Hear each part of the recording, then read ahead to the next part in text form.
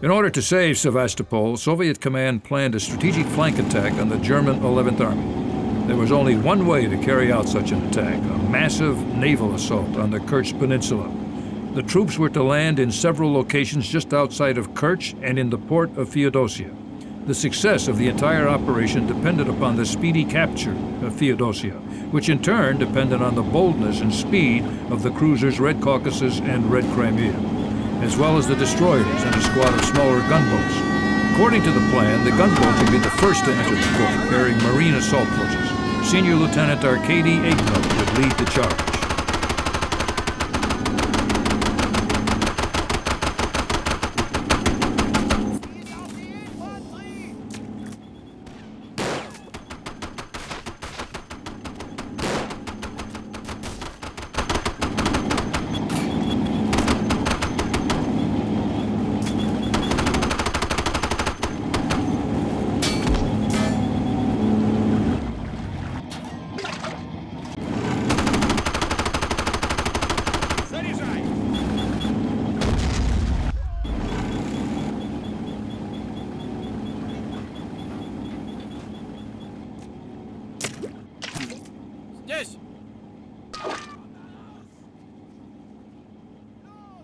Так точно! Das Ziel ist in Reichweite!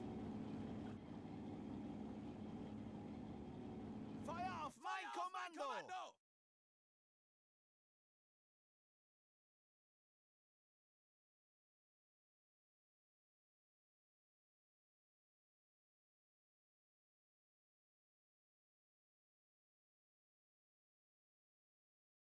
Так точно!